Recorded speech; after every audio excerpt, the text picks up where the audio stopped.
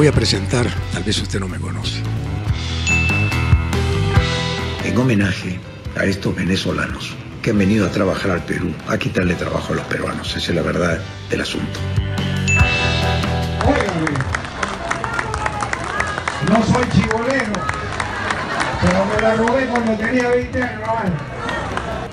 Han visto que consumo lo que el Perú produce, ¿no? Ya los médicos lo han dicho, la mascarilla, respirándola todo el día, te mata más rápido que el virus propiamente dicho. Pero que el poder gay se instaló, se instaló el poder gay, porque el poder gay controla la televisión y la prensa.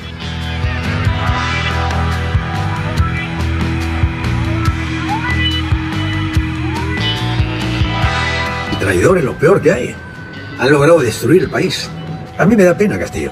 Va a ser uno más de los que se va a la cárcel o termina rico y fugado del país.